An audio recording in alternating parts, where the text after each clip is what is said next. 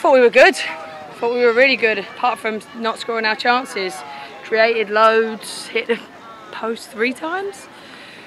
Missed, we've missed from really close distance. Listen, the players did everything and more that I asked of them tonight. And uh, they were right up against it, and I'll say no more. Go ahead. Uh, Coach, a tragic for a lot of the game. Uh, definitely, uh, offensively, there were some chances that weren't necessarily taken. Um, uh, at this point in the season, some teams pretty much are polished. Is that something that you're seeing? Uh, that some teams have better tactics moving forward, or is something that San Diego needs to look, work on a little bit? Who do you think was the better team tonight? Who do you think was the better team tonight?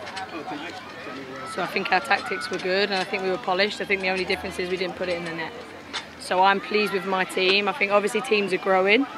If we score the first two, we're out of sight. If we score the second two, we've had enough chances to win the game twice over, and we haven't taken those chances. And we get a uh, penalty against us again, um, and then we don't get anything the other way. So I won't make excuses. You know, if we, if we score our chances, we don't have to rely on poor officiating. Um, so yeah, it's. a disappointing night. It hurts. It's uh, it's.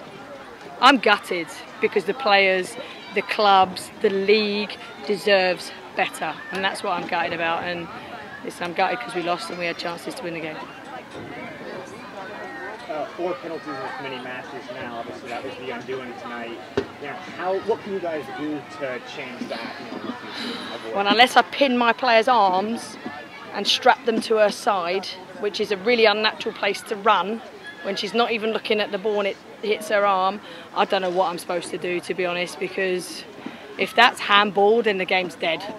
It really is, because she, her arms aren't up here.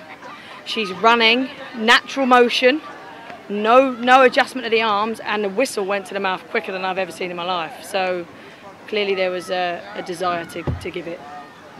I, I can't change it. You know, we need to defend better in certain moments, but I can't. Other than pinning my players' arms to their side, I can't do nothing about it. Casey, without trying to get you fined or anything, um, are you able to describe just that interaction towards the end of the game with Kailen and just what that card was like? I didn't know anything about it. I just turned around and saw a red, and I was like, right, okay. And then I've got a goalkeeper in there crying her eyes out, absolutely devastated because she can't even give any type of feedback, you know. And yeah, for next week in terms of just kind of that backup plan and thinking through that? Um, you know, just how confident are you in Carly? Yeah, listen, Carly's played in, isn't she? You know, she had really good performances when Kailen was away.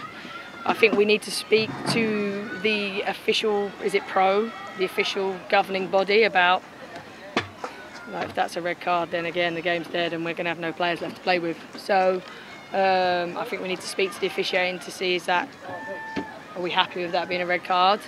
I think we need to potentially, you know, argue against it. And if, if, if it doesn't, which I know it won't, it won't go in our favour, then Carly's ready and she'll be prepared.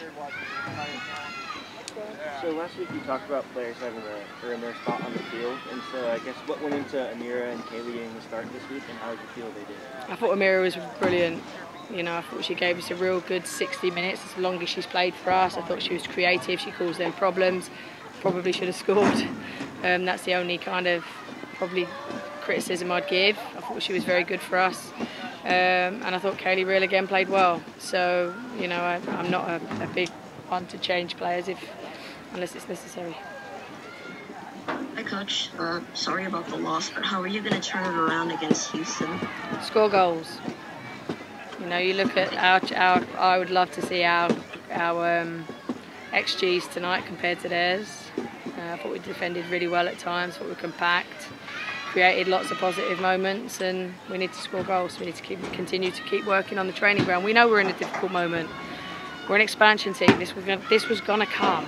You know, everyone uh, starts panicking. I don't. I'm like, we have had a really good first half of the season. People have started to look at what we, we give them now and nullify it a little bit. But you know, I'm perspective. We scored, we created enough chances to win that game twice over. We didn't take them, so we need to do more work in the final third and keep building confidence that we can score goals. All right, and my final question is, is how proud of you how proud are you of Amirah Ali? I know you fought to get her on the team, and I thought she did really well tonight. Yeah, really proud. She's worked hard to be able to get to 60 minutes fitness wise and You know, I thought she put in a real shift tonight, and she showed the potential that she's got and why we're so keen to invest in her as a club. Yes, um, a couple of weeks ago, you said that Amirah was still building back her time. Um, when do you kind of expect her to kind of be towards full? I know that it's kind of like a stepping stone. Well, 60 minutes, it probably goes to 65, it goes to 70. It depends on the type of the game, it depends on the conditions as well. You know, last week it was 2 o'clock in the afternoon, staunching heat. It was evening kick-off tonight, a little bit cooler, because um, the heat affects you differently as well. So, yeah, I was pleased that 60 minutes was in the bank and we'll keep working from there.